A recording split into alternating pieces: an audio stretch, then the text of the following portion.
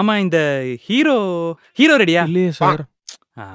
அப்ப யூடியூபர்ஸ் அரைச்ச அதெல்லாம் அவுட் ஆஃப் ட்ரெண்ட் யோ டிக்டாக்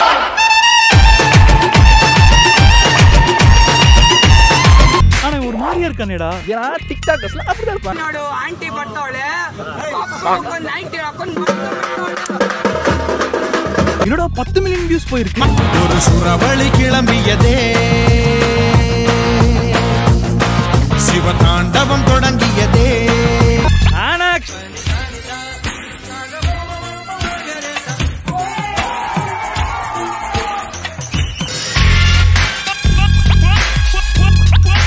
இதுல யார் டைரக்டர் இவர் தான் நினைக்கிறேன் சார் இவரா? ரொம்ப பெருமையா இருக்கு. உங்க ஷார்ட் ஃபிலிம் அடிக்கிறதுக்கு.